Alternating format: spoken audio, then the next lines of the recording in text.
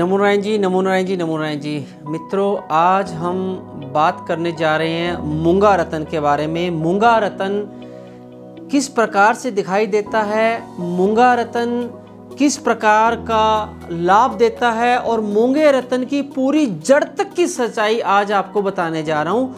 मूँगा रतन के विषय में आप पूरी तरह आज आप तसल्ली से मेरे साथ जुड़िए और पूरा एपिसोड देखिएगा ताकि आपको समझ में आए कि जो मूँगा पहनते हैं लोग, उनको क्या क्या लाभ हो सकता है, मूँगा रतन की उत्पत्ति कहाँ से हुई, भगवान विष्णु के साथ इसका क्या संबंध है, और मूँगा रतन की पैदा कहाँ से होती है, मूँगा रतन की ग्रेविटी क्या है, मूँगा रतन किस धातु में पहनना चाहिए, मूँगा रतन क्या क्या लाभ देता है और मूँगा रतन कौन सी उंगली में सबसे ज़्यादा लाभ देता है? और कौन से चक्रों को ये लाभ देता है? कौन से मूलाधार चक्र है या कौन सा चक्र आपका ये जागृत करता है? सारी आज मैं आपको जानकारी दूँगा।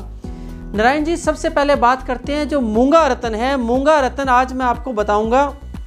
पूरी जड़ के अंदर एक एक चीज़ आपको बताऊँगा। जैसे कि आपको पता है, पूरे वर्ल्ड में सात अरब से ज़्यादा लोग आज विचरण कर रहे हैं पूरे इस धरती के ऊपर। और सभी को ज्योतिष के द्वारा, मंत्रों के द्वारा, या किसी न किसी पद्धति के द्वारा, किसी न किसी को, किसी न किसी विधि के द्वारा ज़रूरत होती है कि हम क्या ऐसा पहने, क्या ऐसा करें, जिससे मानव जीवन के अंदर परेशानियाँ जो आती हैं, उनसे हमें रिलीफ मिले, शक्ति मिले, हम उबरने का मौका मिले। दोस्तों, मूँगा रतन के बारे में बता दूँ। मूँगा रतन कहाँ कहाँ पाया जाता है? मूँगा रतन जो सबसे पहले सबसे पहले जो सबसे अच्छा रतन है, कहाँ का रतन है? जनरली मूँगा रतन इंडिया का भी निकलता है, हिंदुस्तान से भी निकलता है, जिसको इंडियन कॉरल बोलते हैं। इसके अलावा इटालियन कॉरल होता है।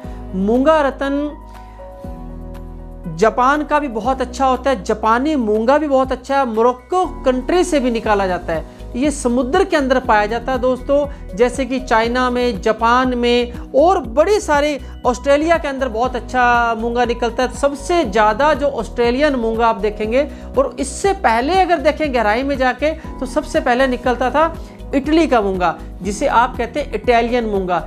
इटालियन मूँगा में क्या खास बात होती है? इटालियन मूँगा हमेशा साइज़ का बड़ा होगा। जैसे कि इतना बड़ा साइज़ होगा कि आपको दिखाता हूँ, आज मैं इटालियन मूँगा। इटालियन मूँगा हमेशा थिकनेस में बड़ा होगा, लंबाई में बड़ा होगा हार्डनेस में काफ़ी अच्छा होगा ग्रेविटी बहुत अच्छी होगी, क्योंकि इटालियन मूँगा जो है दोस्तों, वो सबसे ज़्यादा यूज़ होता है। लेकिन मैं एक एपिसोड और बनाऊँगा जो कि जापानी मूँगे पे रहेगा, उसमें क्या फ़र्क है? लेकिन सबसे ज़्यादा, जैसे कि आपको हम पहले बता चुके हैं कि नीलम, जब कश्मीर के नीलम की और सिलोन की नीलम की बात आती है तो और बैंकों के नीलम की बात आती है, मेडागास्कर की नीलम की बात आती है तो सबसे अच्छा हमने कहा कश्मीर का। लेकिन कश्मीर अवेलेबल नहीं है, महँगा बहुत ज़्यादा है तो सिलोन श्रीलंका बेस्ट है।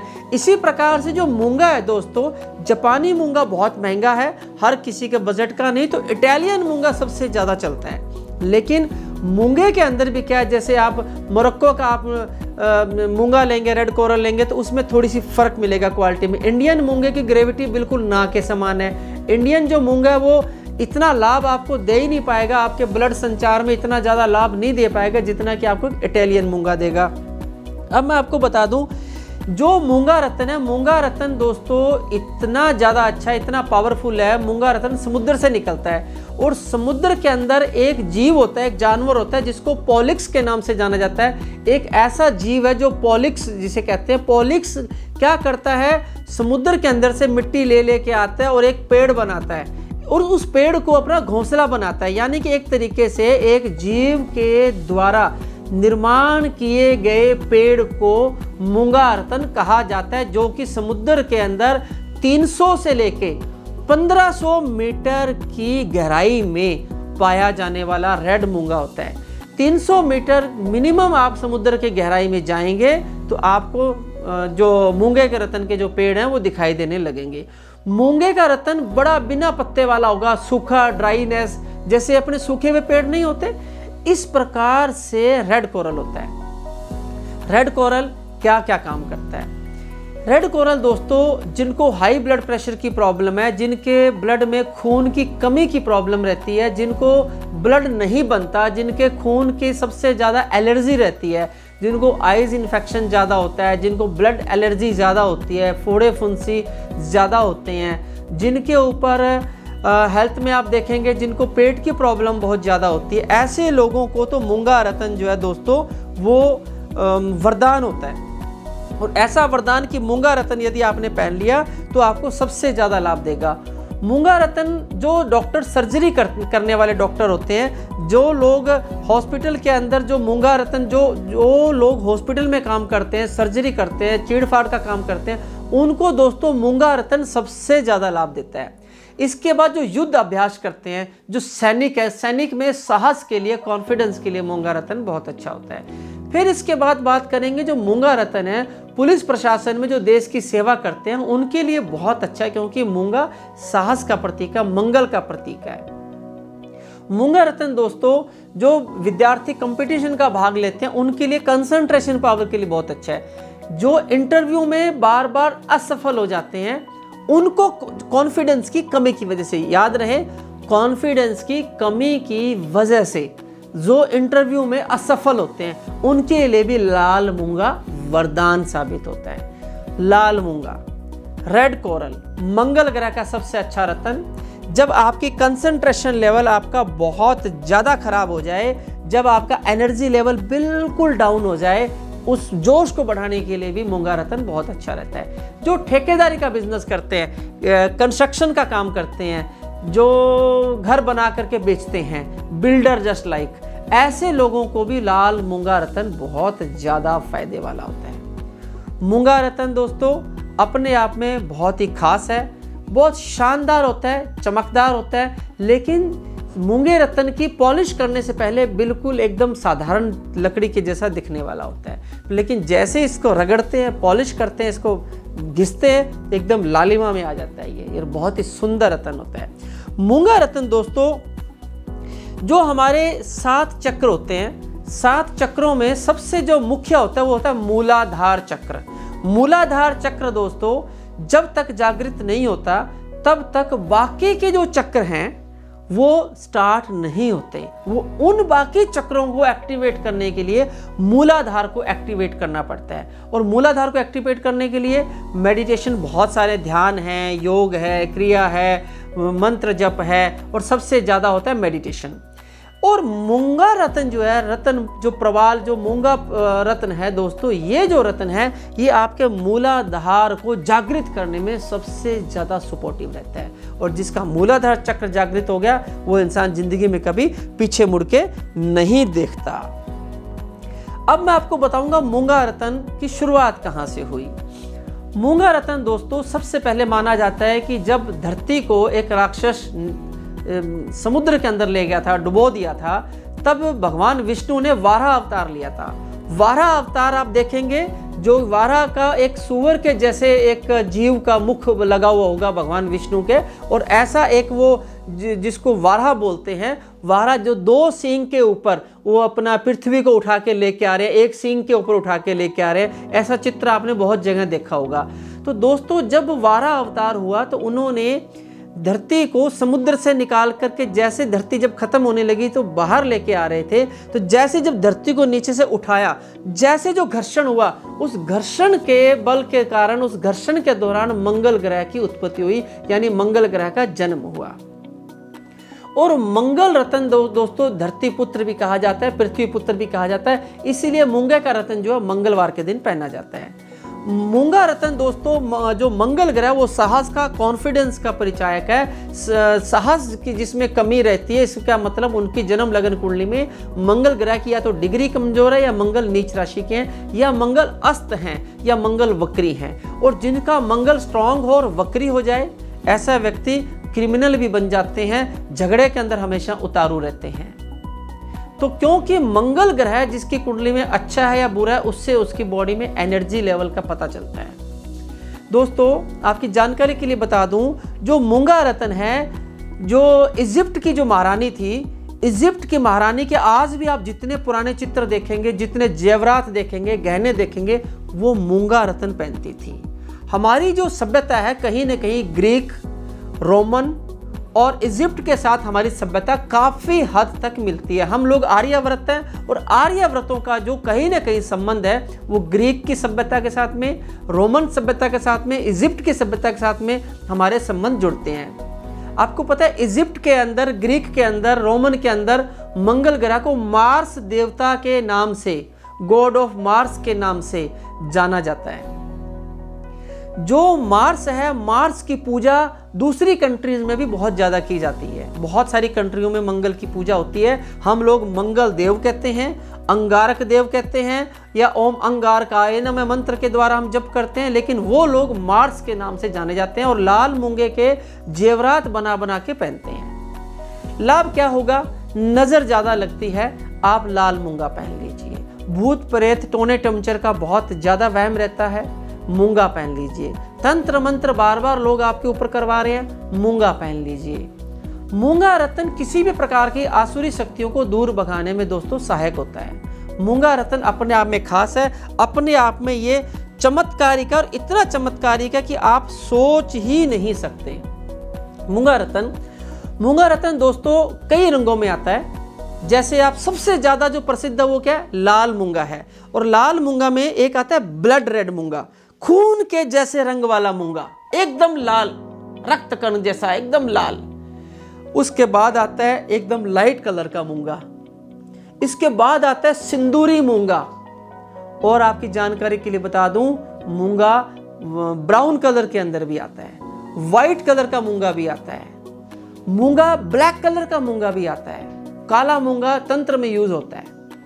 काले मूँगे के अंदर बहुत ज़्यादा अलग प्रकार की एनर्जी होती है जो मैं अभी बता नहीं सकता आपको।